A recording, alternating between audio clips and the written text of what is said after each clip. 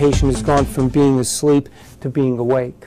Uh, sleep apnea means we hold our breath, stop breathing when, when we sleep. Typically, our airway closes. When you sleep, your muscles relax, not just your arm and leg muscles, but these muscles relax as well. So as they relax, you'll start to snore. Uh, the more you relax, the, uh, the more you sleep, the more these tissues relax until finally you suck your airway closed, you block it off. That's apnea, you're not breathing. Then you work harder to breathe. Some people work so hard to breathe they may sweat during the night, they may wake up with headaches, some people don't. Eventually you generate enough pressure until you finally go and you start breathing again and, you, and your airway opens up, but the brain wakes up. And if that's happening 50, 100, 300 times a night, your brain is waking up 50, 100, 300 times a night. Sometimes I would wake up in the middle of the night gasping for air. It's just the soft tissue in my throat when I sleep at night closes my airwave.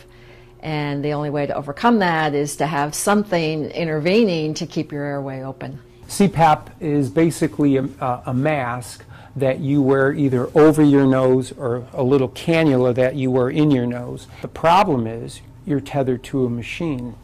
Not everyone can tolerate that tethering a mask that fit over like my whole face and I tried sleeping with that for you know three or four nights and I was just having the worst time because it was really so overwhelming.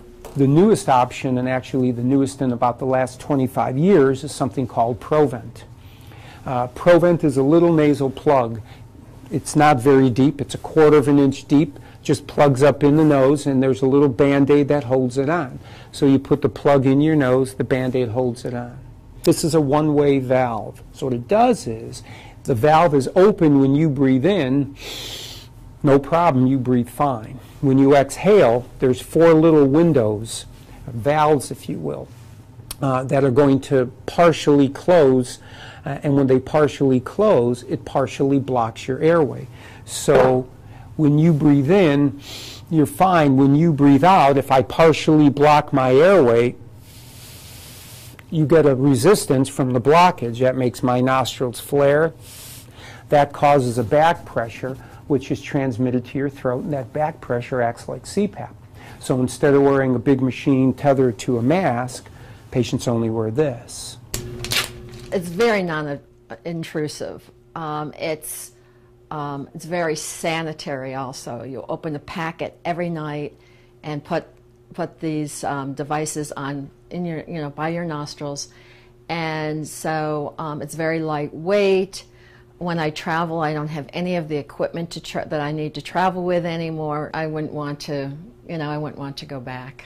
Um, it's just very liberating. I can roll over into any position and and be comfortable when I sleep.